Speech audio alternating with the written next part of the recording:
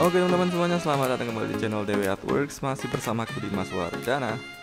Di video kali ini aku akan kembali share sebuah tips singkat ya Yang bisa dibilang cukup berguna untuk kalian yang suka bosan dengan tampilan handphone kalian yang itu-itu aja. Nah di video kali ini aku mau share ke kalian bagaimana cara mengubah atau membuat icon aplikasi di handphone kalian menjadi bergerak Supaya ntar kalian nggak terlalu bosan ya ngelihat tampilan HP kalian yang gitu-gitu aja.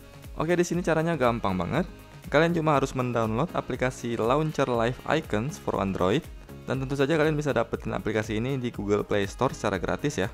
Oke, kalian bisa langsung aja download aplikasinya. Oke, aplikasinya yang ini.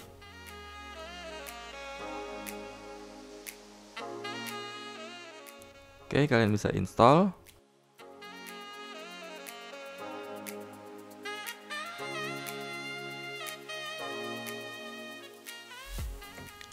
Oke, kalau udah langsung aja buka aplikasinya. Nah, di sini kalian bisa pilih allow. Nah, seperti inilah tampilan utama dari aplikasinya. Di sini untuk langkah pertama kalian bisa langsung pilih aja menu Guide yang ini. Nah, kalau kalian mau membuat launcher ini sebagai launcher default di handphone kalian, kalian bisa pilih langsung aja menu OK di sini. Kemudian setelah itu pilih menu Home App yang ini. Terus pilih menu Osmino Launcher yang bawah.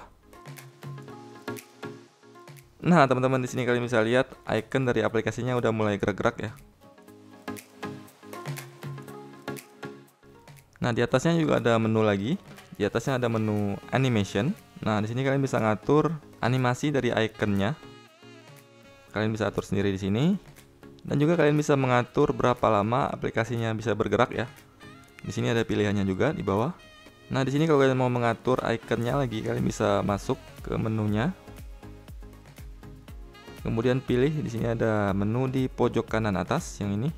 Nah, di sini kalian bisa pilih mau yang tampil semua seperti ini atau kembali lagi seperti tampilan awal.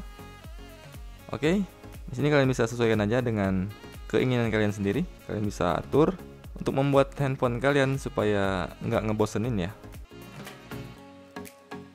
Oke teman-teman mungkin sampai segini aja dulu untuk video tips kali ini. Kalau kalian merasa video ini bermanfaat dan kalian suka kalian bisa klik like. Dan kalau kalian merasa video ini perlu dibagikan kalian bisa share ke teman-teman kalian. Dan juga jangan lupa subscribe buat kalian yang belum subscribe ya. Oke okay, so yeah that's it for today. I wish you this video. Thanks for watching. Aku Dimas Wardana. Be creative and see ya うん。